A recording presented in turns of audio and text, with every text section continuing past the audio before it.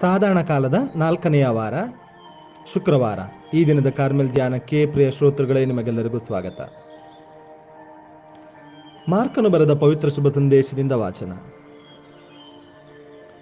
ಆ ಕಾಲದಲ್ಲಿ ಯೇಸುವಿನ ಹೆಸರು ಮನೆ ಮಾತಾಯಿತು ಅದು ಹೆರೋದ ಅರಸನ ಕಿವಿಗೂ ಬಿತ್ತು.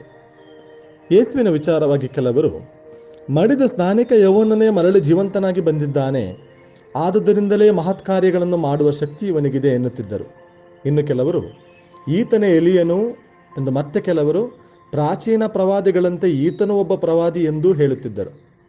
ಇದನ್ನೆಲ್ಲದ ಕೇಳಿದ ಹೆರೋದನು, ಹೌದು, ನಾನು ಶಿರಚ್ಛೇದನ ಮಾಡಿದ ಯವೋನನ್ನೇ ಮರಳಿ ಜೀವಂತನಾಗಿ ಬಂದಿದ್ದಾನೆ ಎಂದನು. ಹೆರೋದನು ತಾನು ಇಟ್ಟುಕೊಂಡಿದ್ದ ಹೆರೋದಿಯಳ ನಿಮಿತ್ತ ಯೌವನನನ್ನು ಸೆರೆ ಹಿಡಿಸಿ ಬಂಧನದಲ್ಲಿರಿಸಿದ್ದನು. ಪ್ರಭುವಿನ ಶುಭ ಸಂದೇಶ ಕ್ರಿಸ್ತರೇ ನಿಮಗೆ ಸ್ತುತಿಯಾಗಲಿ. ಪ್ರೀತಿಯ ಸಹೋದರ ಸಹೋದರಿಯರೇ, ನಾವು ಏನಾಗಿದ್ದೇವೆ ಎಂಬುದು ಇತರರು ನಮ್ಮ ಬಗ್ಗೆ ಏನು ಹೇಳುತ್ತಾರೆ ಅದನ್ನು ಅದನ್ನು ಅವಲಂಬಿಸಿಲ್ಲ. ಇತರರು ನಮ್ಮ ಬಗ್ಗೆ ಏನು ಹೇಳುತ್ತಾರೆ ಎಂಬುದು ನಮ್ಮ ಜೀವನವನ್ನು ನಿರ್ಧರಿಸಬಾರದು. ಇತರರು ನಮ್ಮ ಬಗ್ಗೆ ಯಾವ ರೀತಿಯಲ್ಲಿ ಮಾತನಾಡುತ್ತಾರೆ ಎಂಬುದು ನಮ್ಮ ವ್ಯಕ್ತಿತ್ವವಲ್ಲ. ಅದು ಅವರು ನೀಡುವಂತಹ ಅವರ ದೃಷ್ಟಿಯಿಂದ, ಅವರ ದೃಷ್ಟಿಕೋನದಿಂದ ನಮ್ಮನ್ನು ವಿವರಿಸುವಂತಹ ರೀತಿ ಅಷ್ಟೆ. ಅದು ನಮ್ಮ ವ್ಯಕ್ತಿತ್ವವಾಗಲು ಸಾಧ್ಯವಿಲ್ಲ. ಪ್ರತಿಯೊಬ್ಬರೂ ನಮ್ಮನ್ನು ಅವರವರ ದೃಷ್ಟಿಕೋನಕ್ಕೆ ತಕ್ಕಂತೆ ನೋಡುತ್ತಾರೆ, ಅದರಂತೆ ವಿವರಿಸುತ್ತಾರೆ. ಇಂಥ ಒಂದು ಘಟನೆಯನ್ನು ಇಂದಿನ ಶುಭ ಸಂದೇಶದಲ್ಲೂ ನಾವು ನೋಡುತ್ತೇವೆ. ಯೇಸುವನ್ನ ಕೆಲವರು ಯವನನ್ನು ಎಂದು ಬಿಂಬಿಸಿದರು. ಇನ್ನು ಕೆಲವರು ಪ್ರಾಚೀನ ಪ್ರವಾದಿಗಳಲ್ಲಿ ಒಬ್ಬರು ಎಂದರು.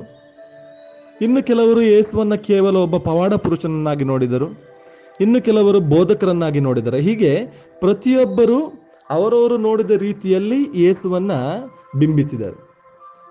ಹೆರೋದನು ಯೇಸುವಿನ ಬಗ್ಗೆ ಒಂದು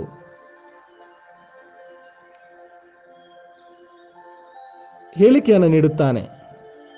ಹೌದು, ನಾನು ಶಿರಚ್ಛೇದನ ಮಾಡಿದ ಯವೋನನೇ ಮರಳಿ ಜೀವಂತನಾಗಿ ಬಂದಿದ್ದಾನೆ. ಇದು ಆತನ ಅನುಭವ ಅಲ್ಲ, ಆತನ ಪಾಪ ಪ್ರಜ್ಞೆ. ಪಾಪ ಪ್ರಜ್ಞೆಯಿಂದ ಯೇಸುವಿನ ಬಗ್ಗೆ ಆತ ತಾಳಿದಂತಹ ಒಂದು ನಿರ್ಧಾರ. ಹೀಗೆ ಪ್ರೀತಿಯ ಸಹೋದರ ಸಹೋದರಿಯರೇ, ನಮ್ಮ ನಮ್ಮ ದೃಷ್ಟಿಕೋನದಿಂದ ಮತ್ತೊಬ್ಬರು ನಾವು ಅಳೆಯುತ್ತೇವೆ. ಅದು ನಿಜವಾಗಲೇ ಬೇಕಾಗಿಲ್ಲ. ಅದಕ್ಕೆ ನಾನು ಹೇಳಿದ್ದು, ಮತ್ತೊಬ್ಬರು ನಮ್ಮ ಬಗ್ಗೆ ಏನು ಹೇಳುತ್ತಾರೆ ಎಂಬುದು ನಮ್ಮ ವ್ಯಕ್ತಿತ್ವವನ್ನು ನಿರ್ಧರಿಸಬಾರದು. ನಾವು ಅಂತರಾಳದಿಂದ ಏನಾಗಿದ್ದೇವೆ ಎಂಬುದನ್ನ ನಾವು ಅರಿಯುವಂತಾಗಬೇಕು. ಪ್ರಭು ಯೇಸು ಕ್ರಿಸ್ತರು ಲೋಕೋದ್ಧಾರಕರು, ಸರ್ವಶಕ್ತ ದೇವ ತಂದೆಯ ಏಕಮಾತ್ರ ಪುತ್ರರು. ಇದು ಯೇಸು ಕ್ರಿಸ್ತರ ನಿಜವಾದ ವ್ಯಕ್ತಿತ್ವ. ಜನರು ಏನೆನ್ನುತ್ತಾರೆ ಎಂಬುದು ಕೇವಲ ತಾತ್ಕಾಲಿಕವಾದದು ಅದು ಇಂದಲ್ಲ ನಾಳೆ ಬದಲಾಗುವಂಥದ್ದು. ಅನುಭವ ಬದಲಾದಂತೆ ಹೇಳಿಕೆಗಳು ಬದಲಾಗುತ್ತಾ ಹೋಗುತ್ತವೆ. ಆದರೆ ನನ್ನ ವ್ಯಕ್ತಿತ್ವ ಬದಲಾಗುವುದಿಲ್ಲ. ದೇವರು ನನಗೆ ನೀಡಿರುವಂತಹ ನೈಜತೆ, ಆ ನೈಜ ವ್ಯಕ್ತಿತ್ವ ಎಂದಿಗೂ ಬದಲಾಗುವುದಿಲ್ಲ. ಈ ಸತ್ಯವನ್ನು ನಾವಿಂದು ಅರಿಯುವವರಾಗಬೇಕು. ದೇವರು ನಮಗೇ ಆದಂತಹ ಒಂದು ಶ್ರೇಷ್ಠತೆಯನ್ನು ನೀಡಿದ್ದಾರೆ, ಆ ಯೋಗ್ಯತೆಯನ್ನು ನೀಡಿದ್ದಾರೆ. ಅದನ್ನು ಅರಿತಾಗ ನನ್ನ ಜೀವನದ ಸಾರ್ಥಕತೆ ಶ್ರೇಷ್ಠತೆಯಾಗುತ್ತದೆ. ಸಾರ್ಥಕತೆಯನ್ನು ನಾನು ಇನ್ನೂ ಶ್ರೇಷ್ಠವಾಗಿ, ಉತ್ತಮವಾಗಿ ಅರಿಯಲು, ಜೀವಿಸಲು ಸಾಧ್ಯವಾಗುತ್ತದೆ. ಪ್ರೀತಿಯ ಸಹೋದರ, ಸಹೋದರಿಯರೇ, ಪ್ರಭು ಯೇಸು ಕ್ರಿಸ್ತರು ಪ್ರತಿಯೊಬ್ಬರಿಗೂ ಒಂದಲ್ಲ ಒಂದು ರೀತಿಯಲ್ಲಿ ಒಳಿತನ್ನ ಮಾಡುತ್ತಾ ಸಾಗಿದರು. ಏಕೆಂದರೆ ಅವರು ಅವರ ವ್ಯಕ್ತಿತ್ವವನ್ನು ಸಂಪೂರ್ಣವಾಗಿ ಅರಿತಿದ್ದರು. ದೇವರ ಚಿತ್ತವನ್ನು ಮಾಡುವುದೇ ನನ್ನ ಆಹಾರ ಎಂದು ವಿಶ್ವಾಸಿಸಿದ ಪ್ರಭು ಯೇಸು ಕ್ರಿಸ್ತರು ಪ್ರತಿಯೊಂದನ್ನ ದೇವರ ಮಹಿಮೆಗಾಗಿ ಮಾಡುತ್ತಾ ಹೋದರು. ಆದ್ದರಿಂದಲೇ ಅವರ ವ್ಯಕ್ತಿತ್ವದಿಂದ ಒಳಿತು ಬೆಳಕಿನ ಕಿರಣಗಳಂತೆ ಹೊರಹೊಮ್ಮಲು ಸಾಧ್ಯವಾಯಿತು. ಹಾಗೆ ನಾವು ನಮ್ಮ ನೈಜತೆಯನ್ನು ಅರಿತಾಗ ಯೇಸುವಿನಂತೆ ಒಳಿತನ್ನು ಮಾಡಲು ಸಾಧ್ಯವಾಗುತ್ತದೆ. ನಮ್ಮ ನೈಜತೆಯನ್ನು, ನಮ್ಮ ನೈಜ ವ್ಯಕ್ತಿತ್ವವನ್ನು ಅರಿತಾಗ ದೇವರಿಗಾಗಿ ನಮ್ಮ ಜೀವನವನ್ನ ಜೀವಿಸಲು ಸಾಧ್ಯವಾಗುತ್ತದೆ. ಎಲ್ಲವನ್ನ ದೇವರ ಮಹಿಮೆಗಾಗಿ ಮಾಡಲು ಸಾಧ್ಯವಾಗುತ್ತದೆ.